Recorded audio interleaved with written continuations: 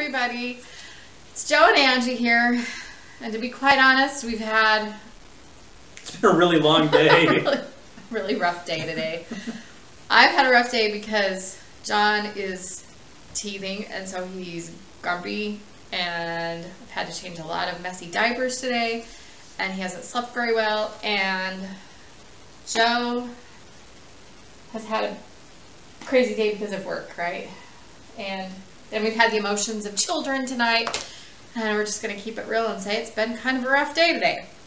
But we're here, and tonight we're going to do that in a perfect world tag, which I thought was great for today because.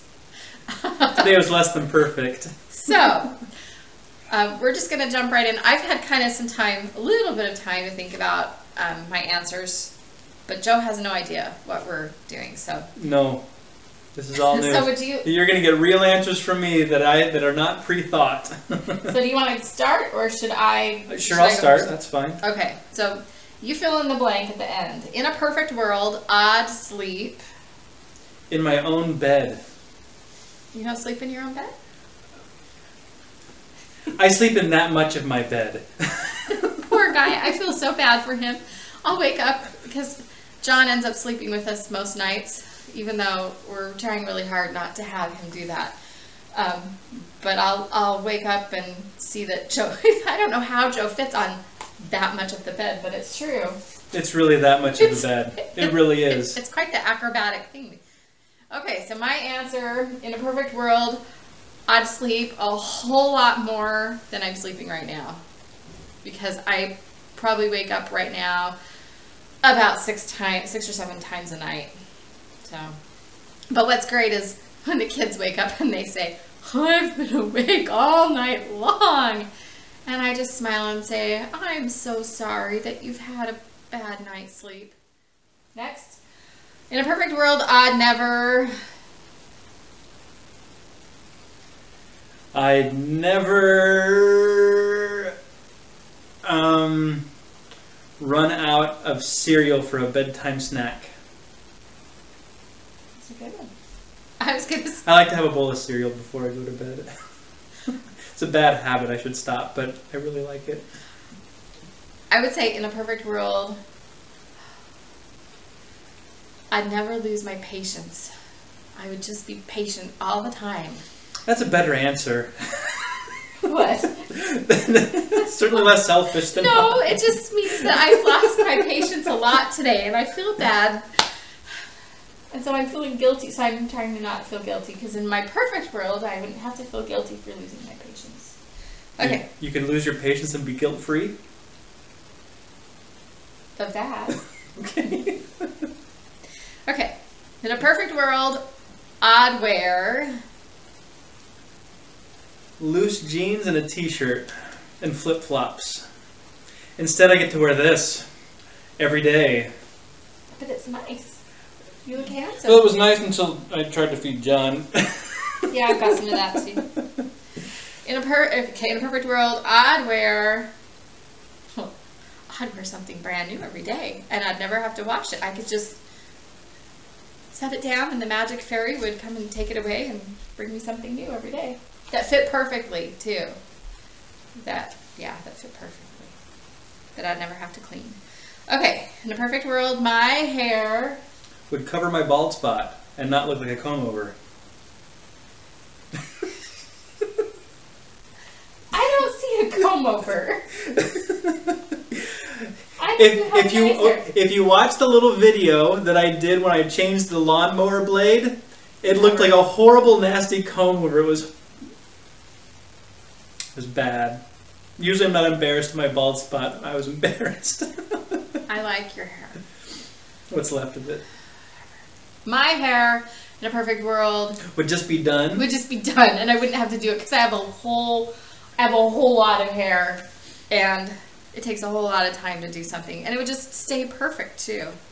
And my hair would not be in John's way, and he wouldn't pull it. Okay, here's the the the money question of the night. Considering the day I just Yes. saw. In a perfect world, my kids Okay, I have to be careful because there's some. There's opposition in all things, right? And you can't know the good without the bad. They would fight and argue less.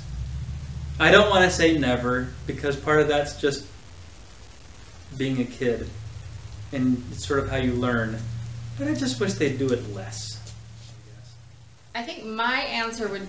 Oh, And the dog would stop licking his feet. It drives me nuts. Handley, stop. but he's not your kid. He stopped. Cut it out. Although he thinks he's your kid. Okay, and in a perfect world, my kids Handley. would, our kids, because we have the same children, um, Hold on. our kids, my kids, would believe in themselves and they would find themselves happier because they would have a they would have a good self-esteem i guess is what i'm saying they would they would have self-esteem enough to know that no matter what they do we love them and they would know that they could come to us about anything at any time Well, they do the last part. oh i hope that they do I'm pretty sure they do. I hope That's they one do. thing that they're really good at. But- well, they're good at a lot of stuff, but they are very good at that too. I And think. and other than that, I mean, I know that there are times when it's crazy and trust me, today's been kind of crazy. I don't think that I would change them. I just would want them to believe in their themselves and know that that I love them unconditionally. So we'll just leave it at that. Okay, in a perfect world, my house. Would have new carpet. New carpet with a nice thick pad, the kind of really nice high quality wool carpet. I like nice carpet, especially in bare feet. I don't mind vacuuming it. Just needs to be nice, thick, We have a pea visitor. free carpet. Pea free. Pea free would be wonderful. Yes, Rebecca. world, my house would not be this one. At that bad. No, it's not bad at all. But that doesn't mean that I would want. There, there's lots of the houses that I. That I would prefer this house over lots of other houses. Like the last house. Yeah. Um, in a perfect world, my house would be my own. I would own it because we've had to rent for a long time. We we owned we've owned a couple homes and we've um, And loved both of them. loved them, but it's been a long time since we've had a home of our own. Years, what like, gosh, almost all of Rebecca's life. Um, Yeah, going on seven years. we we had to we sold our home that we lived in in Michigan at the wrong time in 2008 when everything crashed. And we had to. We didn't have a choice. And it took a year and a half for it to sell for less than half of what We bought it for. bought it for. And so, you know, that's just kind of made it. It's made a long story short. In a perfect world, we would own our own home, and it would be the perfect house because we will ha- would have designed it. And yeah, okay. Now that we've rambled on, in a perfect world, my car Would be paid for. Paid off. Done. And it wouldn't break down. I was gonna say, really? And it wouldn't break down. If it were paid off, we could just switch it out for a better one. We've A had we've one. had really bad luck with cars. We've had bad luck with cars. really bad luck. So yeah, what he said plus um, it would always have gas in it, and I wouldn't have had to pay for it or put it in. It would just magically appear in a perfect world.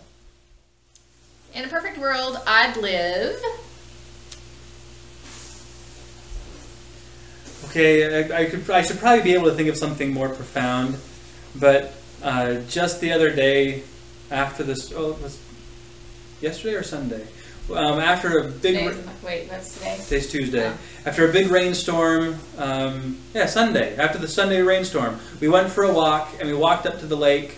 And uh, we I didn't have the camera with us. I wish we had taken some pictures to share. But the sky and the water were just gorgeous, and it reminded me how much I want to have a lakeshore home up somewhere along the coast of Lake Lake Michigan.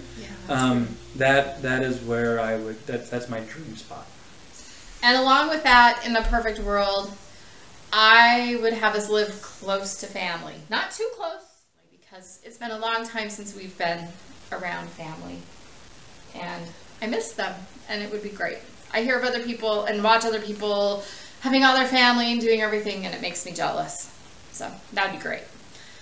Um, in a perfect world, I'd eat. Lunch in Italy again. I would eat lunch in Italy again. Would you bring me? Well, of course. I'm, why wouldn't I?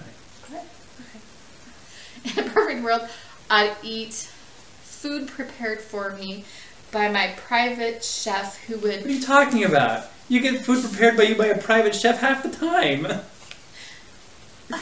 Apparently, your private chef isn't good enough. I didn't mean it like that. I meant. You know how Oprah has people who come and do it for her in her dietary whatever stuff, and they do all the shopping for her and the cleaning up for her. yeah, I don't do that part. Okay, okay. In see? exchange for cleaning or, or washing, I mean, or And you don't do the dietary whatever, whatever. And, it doesn't and taste as good. okay, and to add to that, It doesn't. I would eat. It says I'd eat. I'd eat, and I wouldn't gain a, a pound, and that would be great. And all the dishes would be cleaned up for me. Last question might be kind of tricky. In a perfect world, my wife or my husband What? fill in the blank. My wife wouldn't be stressed out. in a perfect world, my husband would be able to write as much as he wanted and get published because that's something that he loves to do. And would get sleep and would have more room on the bed.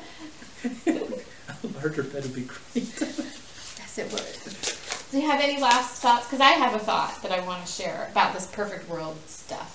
no, I, I write it down. I, it's a quote. Okay. No. no, this is mine. I figured this out on my own. I was thinking about this today. Well, John was screaming at me. And I thought of a quote from somebody who I really admire, who's a woman, who she's a woman who I really admire, and her name is Marjorie Pay Hinckley, and she has a lot of good quotes. So um, I will put this one's kind of a little bit long, but I really like it, and I will put it in the comments or in the what's that thing called down below? That down below. Extra information. Yeah, I'll put it in that whatever down below. But you should also look her up because she's written books and she's really great. Her name's Marjorie Pay Hinckley, and um, she kind of sums it up really well for me about In a Perfect World. She says, "I don't want to drive." Up to the pearly gates in a shiny sports car, wearing beautifully tailored clothes, my hair perfectly coiffed, with long, perfectly manicured fingernails. Which I like because I, I never look perfect and I never have anything perfectly put together. I want to drive up in a station wagon that has mud on the wheels from taking kids to scout camp. I want to be there with a smudge of peanut butter on my shirt for making sandwiches for a sick neighbor's children. I want to be there with a little dirt under my fingers from helping to weed someone's garden. I want to be there with children's sticky kisses on my cheeks and the tears of a friend on my shoulder. I want the Lord to know I was really here and that I really lived. And I think for me that sums up I might not look the perfect way that I want to look. I might not have the perfect ideal situation that I want. I'm gonna cry. Goodness. Um, I didn't know I was gonna get emotional. I think I've decided today that despite everything and how everything's not perfect, it is perfect because it's my life. And so even though I've got gray hair and a few extra pounds and not enough money, it's okay because it's perfect because I have this guy with me and three beautiful people that I get to Fight with. fight with all day. and it's okay. Becky, Because that's what makes it perfect is the, go. Right imper- there. The imperfection of life makes it perfect. So anyway, I'm sorry that I cry. But I guess that's what you get is an imperfect me tonight. And we hope that you will share with us um, what what are we saying? You we can wrap this up. You wrap it up. Just make appropriate comments below. That'd be great. Okay, have a good night, everybody. Bye bye.